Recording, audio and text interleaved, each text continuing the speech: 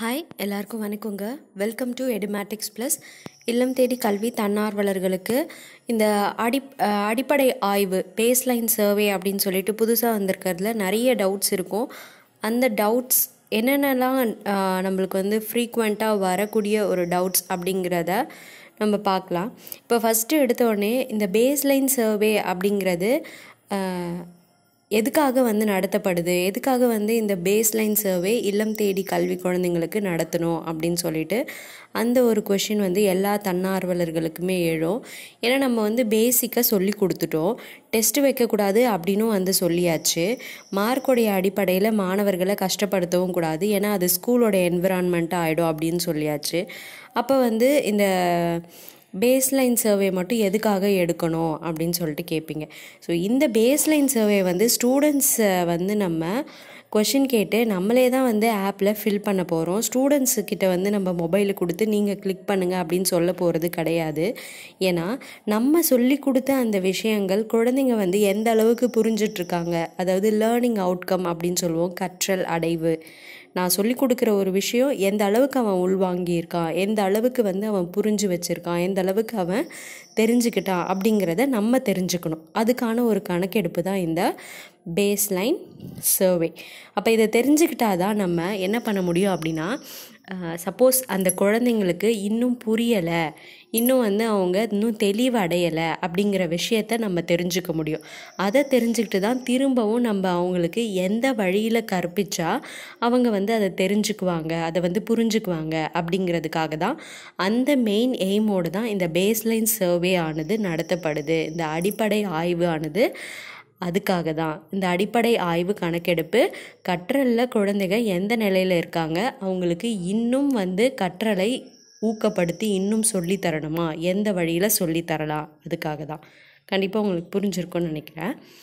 அடுத்த ஒரு question baseline survey வந்து கண்டிப்பாக நடத்தணுமா? எல்லா குழந்தைங்களுக்கும் நடத்தணுமா? அப்படின்னு ஒரு டவுட் வரும். கண்டிப்பாக இல்லம் தேடி கல்வி மையத்துக்கு வரக்கூடிய எல்லா குழந்தைங்களுக்குமே இந்த பேஸ்லைன் சர்வேன்றது தேவை. நடத்த நடத்தி தான் ஆகணும். வராத பிள்ளைங்களை பற்றி நீங்கள் கவலைப்பட வேணாம். ஏன்னா வந்து வந்தவங்க தான் வந்து நம்ம சொல்லி கொடுத்ததை கவனிச்சு இருப்பாங்க அவங்களுக்கு தான் வந்து நம்ம அந்த சர்வே நடத்த முடியும். அதே போல் ஆப்பில் நீங்கள் அந்த ஸ்டூடெண்ட்டோடைய நேமை ரெஜிஸ்டர் பண்ணியிருந்தாங்க தான் அந்த ஸ்டூடெண்ட்டுக்கு என்னென்ன கொஷின்ஸ் என்னென்ன சப்ஜெக்ட்ஸ் அப்படின்னு சொல்லிட்டு எல்லாமே டிஸ்ப்ளே ஆகும். சப்போஸ் நீங்கள் அந்த குழந்தையோட நேமை ஆப்பில் ரெஜிஸ்டர் பண்ணல அப்படின்னாலும் அவங்களுக்கு வந்து செய்ய முடியாது அதை. அதே மாதிரி இந்த பேஸ்லைன் சர்வே வந்து நடத்தணுமான்னு கேட்டாச்சு. எந்த அளவுக்கு இது முக்கியமானது அப்படின்னு பார்த்தோன்னா நம்மளுடைய கல்வியாளர்கள் அதாவது எஜுகேஷ்னலிஸ்ட் வந்து ஒரு சில விஷயங்களை வந்து சொல்லியிருக்காங்க. ஒரு மாணவன் வந்து எட்டாவது படிக்கிறானா? அப்போ அவன் வந்து இந்த அளவுக்கு வந்து அவன் கற்று வச்சுட்ருக்கணும். இந்த அளவுக்கு வந்து அவனுடைய கற்றல் அடைவு இருக்கணும். முன்னாடி படித்த அந்த வகுப்புகளில் இருந்து இவ்வளோ விஷயம் அவன் தெரிஞ்சுக்கிட்டு இருந்திருக்கணும் அப்படின்னு சொல்லிட்டு ஒரு சர்வே இருக்குது அதில் வந்து கிட்டத்தட்ட அவங்க நிறைய திறன்கள் நுண்திறன்கள் அது எல்லாத்தையும் வந்து மென்ஷன் பண்ணியிருப்பாங்க. அதாவது காம்பிட்டன்சிஸ் மைக்ரோ காம்பிடென்சிஸ் அந்த மாதிரிலாம் வந்து சொல்லுவாங்க. ஸோ என்னென்ன திறன்கள் அவன் தெரிஞ்சிருக்கணும்? என்னென்ன நுண்திறன்கள் அவன் கற்று வச்சிட்ருக்கணும்? அப்படின்னு சொல்லிட்டு.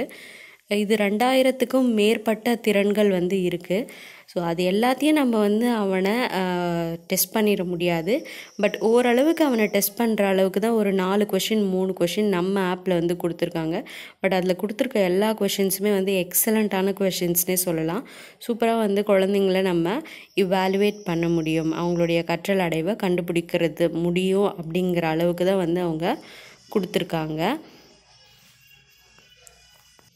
அதே போல் இந்த பேஸ்லைன் சர்வே வந்து இதுக்கு முன்னாடி நடத்தப்பட்டிருக்கா அப்படின்னு சொல்லிட்டு கேட்டால் இல்லம் தேடி கல்வியில் இதுக்கு முன்னாடி நடத்தப்பட்டது இல்லை. இதுதான் வந்து ஃபர்ஸ்ட் டைம் ஏன்னா முன்னாடி வந்து அந்த நான் ஏற்கனவே சொன்னது தான் மாணவர் மதிப்பீடு ஸ்டூடெண்ட் அசஸ்மெண்ட் அப்படின்னு சொல்லிட்டு வந்துச்சு. ஆக்சுவலாக அதுவும் இதுவும் கிட்டத்தட்ட ஒன்று தான் அதை தான் வந்து இப்போ வந்து மாடிஃபை பண்ணி கொஞ்சம் ஸ்லைட்டான மாடிஃபிகேஷனோட கொடுத்துருக்காங்க. அதை வந்து நிறைய பேர் வந்து செஞ்சுருக்க மாட்டாங்க. ஒரு சில பேர் வந்து ஒரு ஒரு ரெண்டு மூணு மாணவர்களுக்கு வேணால் செஞ்சுருக்கலாம் அதே தான் பட் இது ஃபஸ்ட்டு டைம் தான் இந்த பேஸ் பேஸ்லைன் சர்வே அப்படிங்கிறது. பட் ஸ்கூல்லேயும் வந்து கற்றல் அடைவு சோதனை வந்து மாணவர்களுக்கு நடக்குது. எந்த அளவுக்கு அவங்க கற்று வச்சுருக்காங்க அப்படிங்கிறத தெரிஞ்சுக்கிறதுக்காக. அது வேற அண்ட் இது வேற. இவ்வளோ தூரம் நம்ம சொல்லியும் வந்து சில பேருக்கு வந்து அந்த பேஸ்லைன் சர்வே அடிப்படை ஆய்வு அப்படிங்கிறது புரிஞ்சுக்கிறதுக்கு கஷ்டமான விஷயமா இருக்கும். ஸோ நம்ம இப்போ வந்து ஒரு ஸ்டாண்டர்ட் எடுத்துக்கிட்டோம் அப்படின்னா அந்த ஸ்டாண்டர்டில் அந்த சப்ஜெக்டில் என்னென்ன திறன்கள் பெற்றிருக்கணும் அப்படின்னு சொல்லிட்டு ஒரு சில திறன்கள் இருக்குது அப்போ அந்த திறன்களும் ஒவ்வொரு கற்றல் அடைவுக்குன்னு சொல்லிட்டு ஒரு ரெண்டு மூணு நுண் திறன்கள் அந்த மாதிரியும் வந்து இருக்கும். இது எல்லாத்தையும் வந்து அசஸ் பண்ணுறது தான் வந்து இது. இதை வந்து நம்ம இந்தந்த திறன் அப்படின்னு சொல்லிட்டு நம்ம கண்டுபிடிக்க வேண்டாம். கொடுத்துருக்க கொஷினுக்கு மட்டும் ஸ்டூடெண்ட்ஸ் என்ன ஆன்சர் பண்ணுறாங்க அதை மட்டும் நம்ம கண்டுபிடிச்சாலே போதுமானது. இப்போ காம்பிட்டன்சின்னு சொன்னோம் இல்லையா திறன். அப்போ திறன் அப்படிங்கிறப்ப பேசுகிற திறன் எழுதுதல் திறன் அந்த மாதிரி நிறைய திறன்கள் இருக்குது இப்போ இங்கே வந்து நம்ம கேட்க போகிறது கொஷின்ஸ் தான். அது வந்து ஒரு படத்தை காட்டியோ இல்லை வந்து ஒரு நிகழ்ச்சியை வந்து சொல்லியோ அதுலேருந்து தான் வந்து நம்ம கொஷின் கேட்க போகிறோம் இல்லை ஆல்ரெடி அவனுக்கு சொல்லி கொடுத்த ஒரு விஷயமா இருக்கும். அப்போ அதில் அவனுடைய திறன் வந்து வெளிப்படும். அதே போல் நுண்திறன் அப்படிங்கிறது ஒரு படத்தை காமிச்சு இந்த படத்தை வச்சு நீ ஒரு கதை சொல்லு. இந்த கதையில் வத வரக்கூடிய அந்த கதாபாத்திரங்களை பற்றி நீ எக்ஸ்பிளைன் பண்ணு அப்படின்னு சொல்கிறப்ப அவனால் அந்த கோர்வையாக அந்த வாக்கியங்களை பேச முடியுது.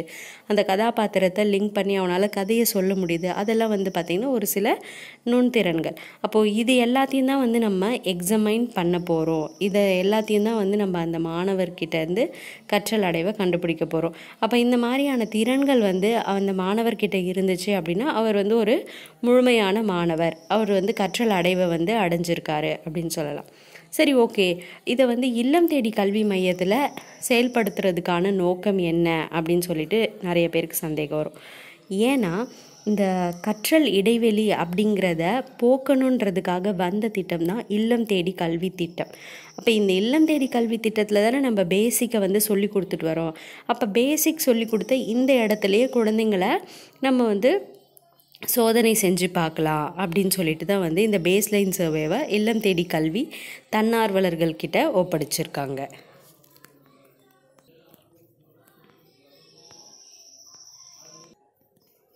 அடுத்தது வந்து ஒரே நாள்லேயே வந்து இந்த கணக்கெடுப்பை வந்து நம்ம நடத்திடணுமா அப்படின்னு சொல்லிட்டு நிறைய பேருக்கு டவுட் இருக்கும். ஒரே நாளில் நடத்தணும் அப்படின்னு சொல்லிட்டு அவசியம் இல்லை. ஒரு வாரம் வரைக்கும் நமக்கு டைம் இருக்குது அந்த ஒரு வாரத்துக்குள்ளே நம்ம வந்து நடத்தி முடிச்சிடணும். எப்போல்லாம் நம்ம கிளாஸ் வைக்கிறோமோ அந்த டைமிங்கில் வந்து நம்ம எடுத்து இந்த சர்வேயை வந்து கம்ப்ளீட் பண்ணிடலாம். அண்டு ஒரு நாளைக்கு வந்து ஒரு சப்ஜெக்ட் எடுக்கலாமா? இல்லை எல்லா சப்ஜெக்ட்டும் எடுக்கணுமான்னு டவுட் இருக்கும். அது வந்து உங்களுடைய விருப்பத்தை பொறுத்து தான் இப்போ ஒரு நாளைக்கு வந்து இப்போ நீங்கள் அப்பர் ப்ரைமரி எடுக்கிறீங்கன்னு வச்சுக்கோங்க. சிக்ஸ் செவன் எயிட் இருப்பாங்க. ஸோ அவங்களுக்கு வந்து மொத்தம் அஞ்சு subject Tamil English maths science social சயின்ஸுன்னு சொல்லிட்டு. ஒரு நாளைக்கு நீங்கள் தமிழ் சப்ஜெக்ட் எடுத்துக்கிட்டீங்க அப்படின்னா ஆறாம் வகுப்பு ஏழாம் வகுப்பு எட்டாம் வகுப்பு மூணு மாணவர்களுக்கும் வந்து அந்த தமிழ் சப்ஜெக்ட்லேயே வந்து நீங்கள் கேட்கலாம். கொஷின்ஸ் எல்லாம் வந்து எல்லாருக்கும் ஒரே மாதிரி இருக்காது. சிலருக்கு ஒரு மாதிரியும் பலருக்கு வந்து வேறு மாதிரியும் இருக்கும். ஏன்னா ரேண்டமாக தான் வந்து கொஷின்ஸ் அப்பியர் ஆகும். பட் நாலு கொஷின்னா நாலு கொஷின் தான் எல்லாருக்கும் இருக்கும். மூணுனா மூணு கொஷின் தான் இருக்கும். ஸோ ஒரு நாளைக்கு ஒரு சப்ஜெக்ட் கூட நீங்கள் எடுத்து கம்ப்ளீட் பண்ணலாம். அது உங்களுடைய விருப்பம்தான். இல்லை நீங்கள் ஒரு நாளைக்கு ஒரு ஸ்டாண்டர்ட் நான் கம்ப்ளீட் பண்ணியிருக்கேன் சிக்ஸ்த்துனா சிக்ஸ்த்துக்கு Tamil English maths science social அந்த மாதிரி எனக்கு கம்ப்ளீட் பண்ண டைம் இருக்குது அப்படின்னாலும் வந்து நீங்கள் கம்ப்ளீட் பண்ணிக்கலாம். அது வந்து உங்களோட விருப்பம் தான் அதே போல் ஸ்டூடெண்ட்ஸ் கிட்ட வந்து நீங்கள் எந்த ஒரு ஹெல்ப்புமே ஹிண்ட்டுமே வந்து கொடுக்கக்கூடாது. நீங்கள் கேட்கக்கூடிய அந்த கொஷினுக்கு அவங்க என்ன சொல்கிறாங்களோ அதுதான் ஆன்சர் அதுதான் ஃபைனல் அதை வந்து நீங்கள் தப்பாக சொல்லிட்டீங்கன்னு சொல்லிட்டு விளக்குறதோ இல்லை வந்து கரெக்டாக சொல்லிட்டீங்கன்னு சொல்லிட்டு விளக்குறதோ அதெல்லாம் எதுவுமே வந்து பண்ண வேண்டாம். ஸ்டூடெண்ட்ஸ் கிட்டேயும் அதுக்கான விளக்கம் என்ன அப்படிங்கிறதையும் வந்து நீங்கள் கேட்க வேண்டாம். இது மட்டும் இல்லாமல் இன்னும் நிறைய சந்தேகங்கள் உங்களுக்கு இருக்கும் அடுத்தடுத்த வீடியோவில் நான் வந்து போடுறேன். இதெல்லாம் வந்து காமனாக எழக்கூடிய சந்தேகங்கள் தான் தேங்க்யூ